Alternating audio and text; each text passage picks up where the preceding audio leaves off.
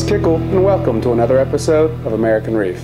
On today's show, we're going to talk about one common saltwater fish disease and how to cure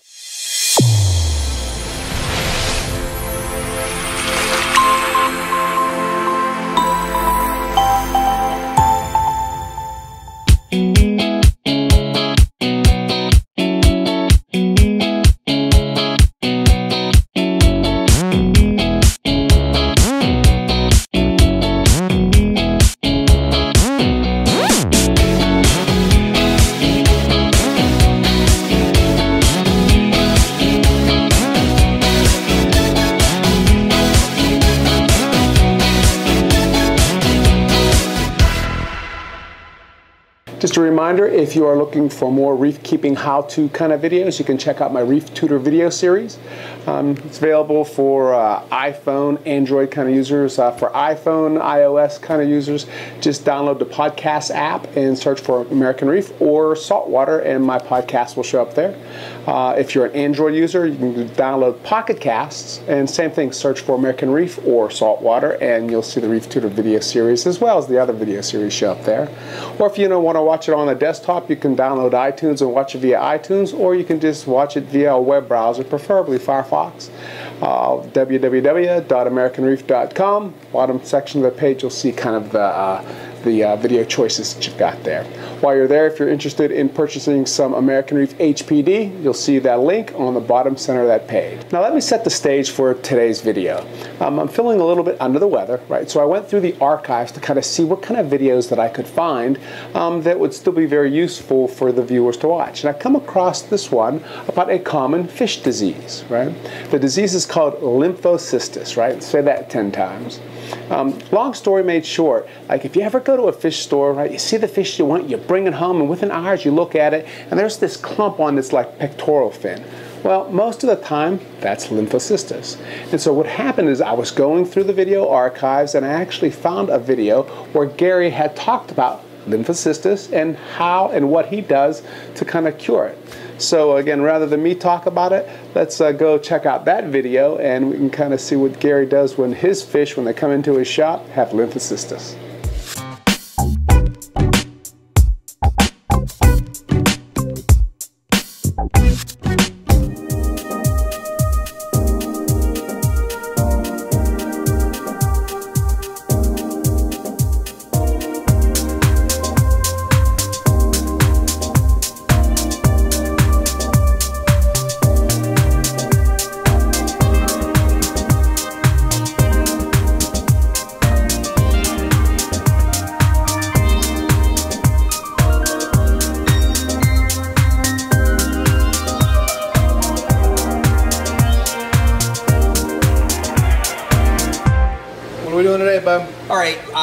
Going to do basically an episode of Check This Out. And this particular fish, we're going to do the episode with. He kind of gives us a couple things to talk about. Okay. The first thing is that he is a Chrysurus angel. Um, it's not a fish that you see very often in the trade. Okay. It's another African fish which I really like. Um, the reason that I like uh, this particular angel is they have a great appetite. They will just practically eat right from your hands. Now, as far as being compatible with coral, uh, Russ and I saw for ourselves, not so great with coral. Especially uh, like what what uh, like brain corals, Right. scolymias, stuff like that. He can, yeah, he's he's real picky as Right. far as I mean, he's picking at coral. Right, you know, right, right. Soft corals, no big deal. I highly doubt he would bother anything soft at all. Right. But open face brain coral stuff like that, he's gonna hit. Now, the thing about the Chrysurus angel is Koran angels are always real popular when they're young because they have those pretty white stripes like that. Right. But they lose them as they get older and they get brown. He doesn't really lose much as far as what he looks like as a juvenile. Uh, he will lose some of the blue lines and they'll just kind of fade out, but he always pretty much looks the same. The other thing about this fish is the white patch on his pectoral fin. And it, start, it started to develop a little bit on his side. I call that lymphocystis. Um, I'm 99% sure that that's what it is. Lymphocystis is a virus. It is not contagious though. It's usually caused from the weakening of the immune system in some way, usually from shipping stress. I've occasionally picked it off or cut it off if it's only on a fin.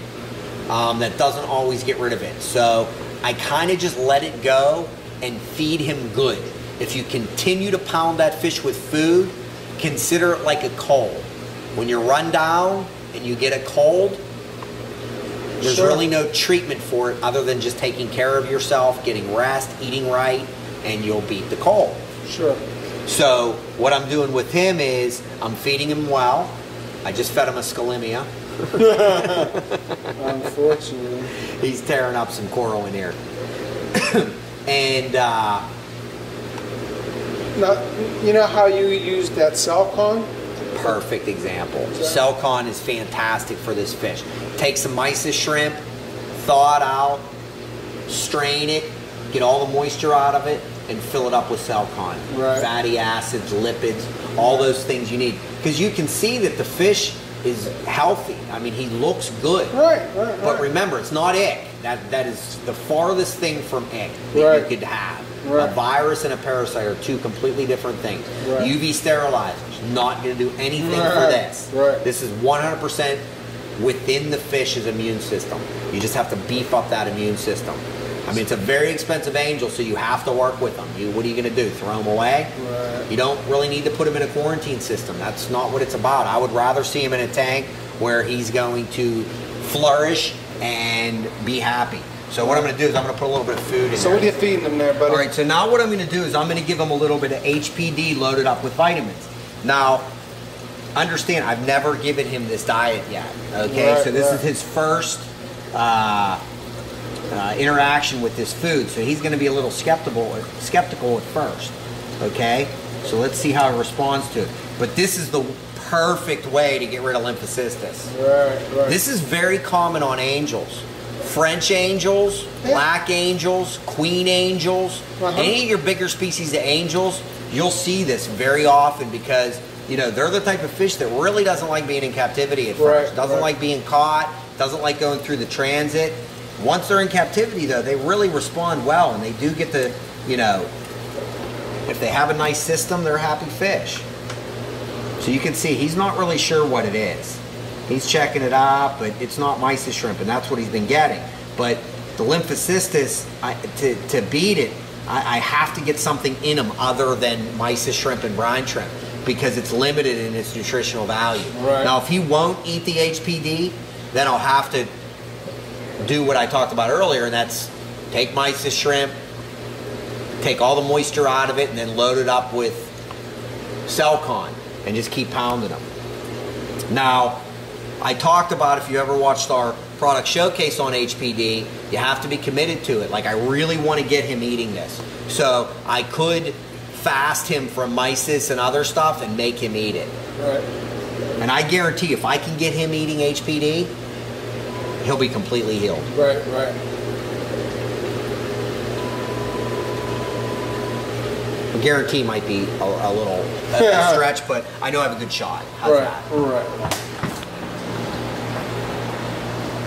Come on, baby. There you go. He just ate a piece. Did you get it? Yep. So we got him to eat HPD. Bam, there's two pieces. So you got a taste of it. Now it's up to him. Do I like it? And believe me, I mean, I, you know, Russ and I want to sell food, but the fact of the matter is that the reason is it works. It's performance, it's value, everything that I, I preach in American Reef. I mean, this is serving a, a fantastic purpose as far as uh, healing this fish, not just keeping him healthy, but getting him better, getting him off of this virus, this cold he has. And the Chrysurus angel is one of my favorite angels, so I'll baby him. I'll sit here and hand feed him for half an hour every day. Beautiful fish. and they get probably eight inches. You Really? know, so it's a it's a good sized fish. Like I said, he'll hammer some LPS stuff. like I have a guy that's interested in taking him home tonight, And if he takes him home, then I don't have to move him other than to his house. If he doesn't, I'm going to have to move him into one of my upper reefs where there isn't any coral right now. So there you have it. Here you have it, the Chrysurus angel. How much they cost, there roughly? Um, 250